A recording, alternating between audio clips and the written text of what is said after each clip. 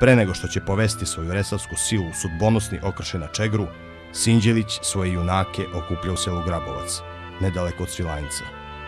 Na mestu zbora, svakog ratnika Sinđelić lično dočekuje i pozdravlja, a potom vodi u kapelu, koja i danas stoji u njegovom dvorištu, na pričest i zakletvu.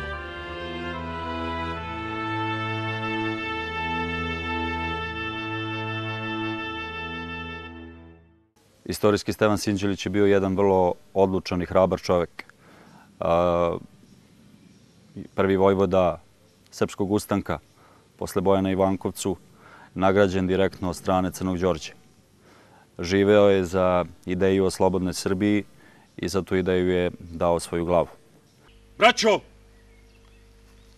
on nije u stanju položiti zakletvu da će se hrabro boriti za slobodu srpskog naroda.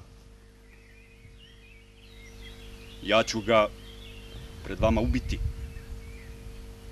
a vi ga sahranite uspravno, da ni na onom svetu ne ima mira.